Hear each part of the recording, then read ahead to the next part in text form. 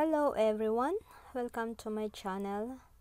Today I'll be doing some review and unboxing at the same time of my second product that I purchased online from Mi store. The Mi 2-in-1 selfie stick.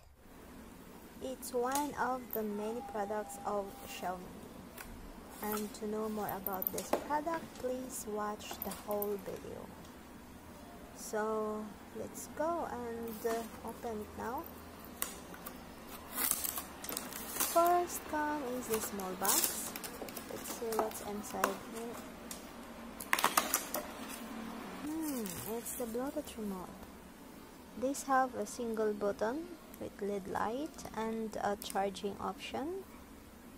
Just use your phone charger to charge this you don't really need uh, a separate charger for this Bluetooth. Uh, your phone charger will do. And now let's take a look for this Mi selfie stick. Okay.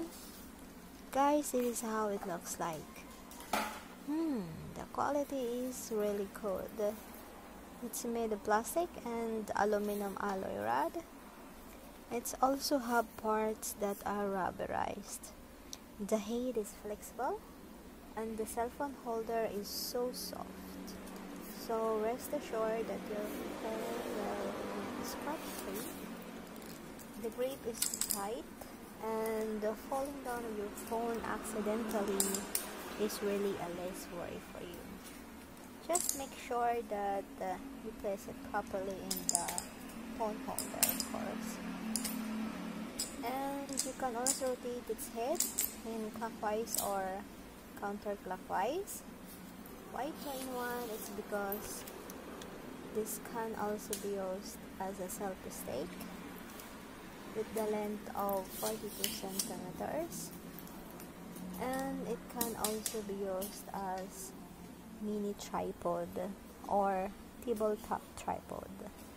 The, late, the length can be expanded like this or depend on how you want it. So that's all guys. If you like the video just give a thumbs up. And if you haven't subscribed yet please do subscribe to my channel. And if you want to get a notification every time I uploaded a new video please press the bell icon below. So there you go. Thank you for watching and see you all on my next video. Bye bye